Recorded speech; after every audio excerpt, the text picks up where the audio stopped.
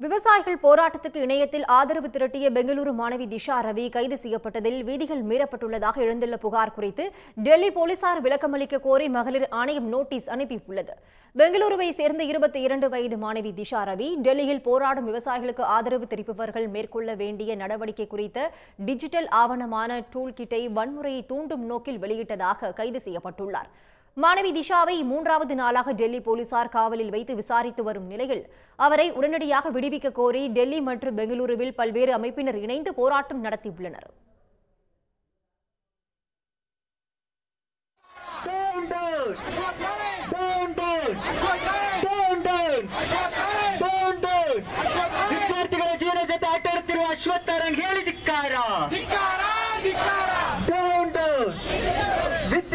ಶಕ್ತಿ இதனிடையே திஷா கைது செய்யப்பட்டது முதல் நீதிமன்றத்தில் ஆஜர்படுத்தி ஐந்து நாட்கள் போலீஸ் காவலில் எடுக்கப்பட்டது வரை பல்வேறு விதிமீறல் நடந்திருப்பதாக சுற்றுச்சூழல் ஆர்வலர்கள் குற்றம் சாட்டியுள்ளனர். கர்நாடக மாநிலம் பெங்களூருவில் கைது செய்யப்பட்ட மாணவி திஷாவை உள்ளூர் நீதிமன்றத்தில் ஆஜர்படுத்தி டெல்லி அழைத்து செல்வதற்கான வாரண்டை பெறாமல் நேரடியாக டெல்லி அழைத்து சென்றது ஏன்? இணையத்தில் வெளியான ஒரு ஆவணத்தை திருத்திய குற்றத்திற்காக இருபத்தி இரண்டு வயது மாணவி கைது செய்வது அவசியமா? போலீஸ் காவலுக்கு அனுப்புவது தொடர்பாக டெல்லி நீதிமன்றத்தில் நடைபெற்ற விசாரணையின் போது திஷா கோரிக்கை விடுத்த போதும் அவருக்காக வழக்கறிஞர் வாதிட நியமிக்கப்படாதது ஏன்? முதல் தகவல் அறிக்கை உள்ளிட்ட எவ்வித ஆவணங்களையும் ஆய்வு செய்யாமல் திஷாவுக்கு டெல்லி குற்றவியல் நீதிமன்ற நீதிபதி ஐந்து நாட்கள் போலீஸ் காவல் வழங்கியது ஏன்? வழக்கு விசாரணை விவரங்களை ட்விட்டர் போன்ற சமூக வலைத்தளங்களில் டெல்லி போலீசார் உடனுக்குடன் வெளியிட்டது ஏன் என்று கேள்வி எழுந்துள்ளது.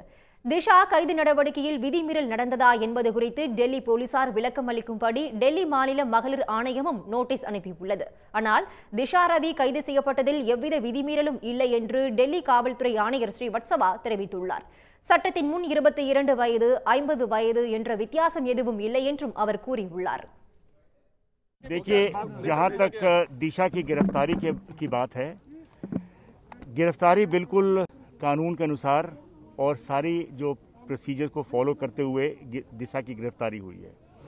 कानून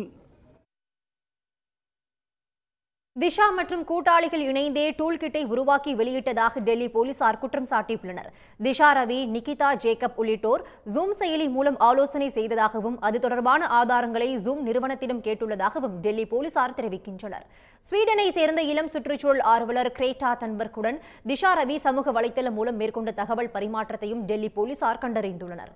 இதன் மூலம் பல்வேறு தரப்பில் இருந்து எழும் எதிர்ப்புகளை மீறி திஷா ரவி உள்ளிட்டோர் மீதான விசாரணை தீவிரப்படுத்தப்படும் என டெல்லி வட்டாரங்கள் தெரிவிக்கின்றன. உடனுக்குடன் செய்திகளை தெரிந்து கொள்ள சன் நியூஸ் பெல் கிளிக் பண்ணுங்க.